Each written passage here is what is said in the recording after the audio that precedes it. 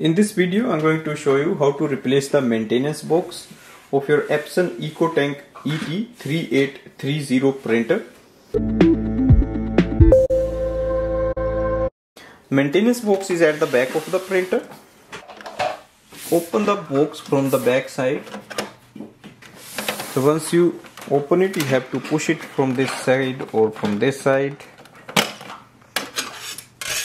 maintenance box is here. There is another screw. You have to take it out. Now there may be another screw here. So right now there is not. We can just remove it. Now this maintenance box has a chip inside. So replace with the same part. Take your new maintenance box and just slide it in. Place this cover and slide it back here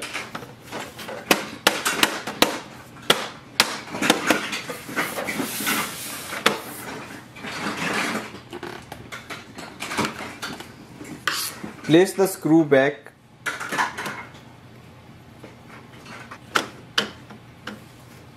So that's the way we can just access the maintenance box of this printer and we can replace it. Thanks for watching